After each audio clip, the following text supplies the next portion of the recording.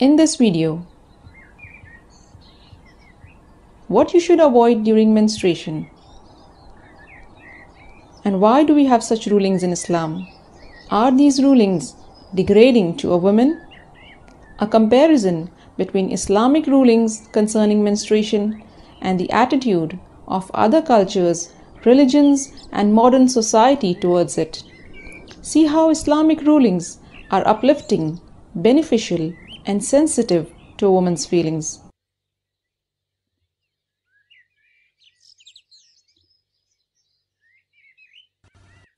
I get asked about menstruation and how it affects the rulings of prayer and fasting quite a bit. And most often, these are oft repeated questions because sometime or the other, every one of us faces similar situations. And this is why we need to make ourselves aware of important and relevant rulings so that we make an informed decision when in need. Since then, there won't be enough time to search and inquire. But before we indulge ourselves in specific rulings, let's take a step back and quickly brush up on the basics. This will inshallah answer a whole lot of questions and then we can tackle specific questions that remain in later clips. So let's get started. A normal monthly flow usually lasts about 3 to 5 days. And of course, it can vary from woman to woman and even last up to 7 days 10 days, or even more, depending on the age, weight, environment, and other factors. And during these days, you are excused from fasting and prayer. Islam has prohibited the husband to join with his menstruating wife during these days. Apart from that, touching, fondling, embracing, everything is permissible. What you should also avoid is tawaf and staying in the masjid. But you can sit in a place that is attached to the masjid. There's nothing wrong with that. If there is a need, you may pass through, like going from door to door or collecting something from the masjid. Once, Allah's Messenger asked Aisha to fetch him a prayer mat from the masjid. She hesitated because of the monthly cycle. Upon this, Allah's Messenger remarked, Menstruation is not in your hand. Personally, this remark of Allah's Messenger gives me great peace of mind and serenity to my heart because this is a grand proof of the fact that Islam does not consider us women as impure, such that if we were to step inside the masjid, we will pollute it, which in fact is the main idea behind many strong restrictions in various other religions for the prohibition of menstruating women entering sacred places. Sadly enough, there is a tendency amongst secular awareness groups to club Islamic rulings along with those of other cultures and religions. Rulings which are indeed degrading to the women.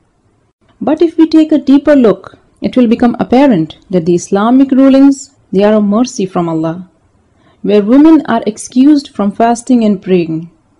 This is lessening the burden of obligations since menstruation itself brings enough hardships for us to bear. All these rulings are for hygiene purposes and health benefits, as we now know with the advancement of science that during these days a woman's reproductive system is quite sensitive and vulnerable and hence more susceptible to infections. Islam has thus forbidden the husband to join with her. This is unlike what is found in other cultures Menstruation was and still is a cause of discrimination against women.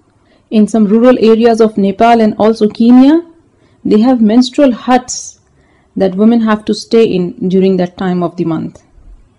This unnecessary and inconvenient practice is not found in villages alone. Even in cities, in various Hindu societies, she is isolated from her husband and family during these days. They have a separate area for her to sleep.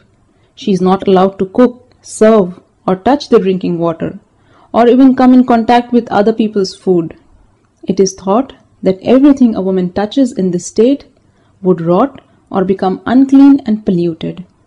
By these needless practices, women are made to face an embarrassing separation with everyone knowing why.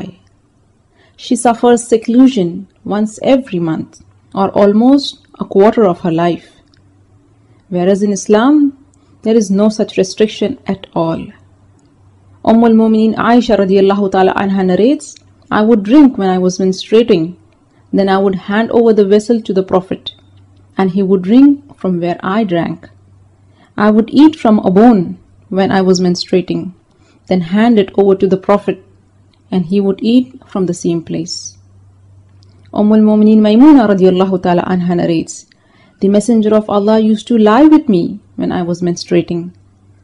Such relaxed attitude because Islam sees the monthly cycle as a natural biological process. When Allah's Messenger found Aisha radiallahu ta'ala anha weeping because of the monthly cycle during Hajj, he consoled her. He said, This is something Allah has ordained for all the daughters of Adam. So do everything except tawaf. And it is this relaxed attitude of accepting the monthly cycle as part of you which is reflected in the explanation of Islamic scholars who discourage taking pills to offset the cycle. But does the seemingly modern and progressive world also take such a relaxed view?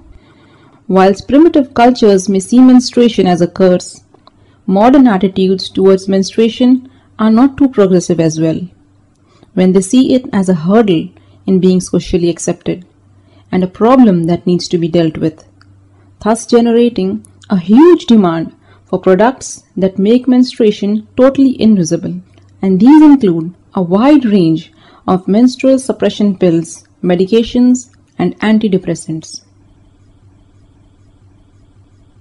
Cultural, modern, or Islamic. Which of these attitudes are truly progressive, uplifting, beneficial, and sensitive to the feelings of a woman? In Islam, there is no complete isolation nor an obsession with making menstruation completely invisible. Instead, in consideration, the worships are lightened for her. And me being a woman, I truly appreciate the concessions allowed. Menstruation poses limitations? Yes. But it's not a problem in Islam. If we cannot do a few certain acts of worship, this should not make us feel restricted. There is a lot more which we can do. Insha'Allah, We'll speak about this in the next clip. We'll also dispel some misconceptions and discuss whether you can read the Quran during these days. And what about clothes worn during menstruation? Stay connected to the Striving Muslima blog, where we nurture our Islamic identity and build confidence.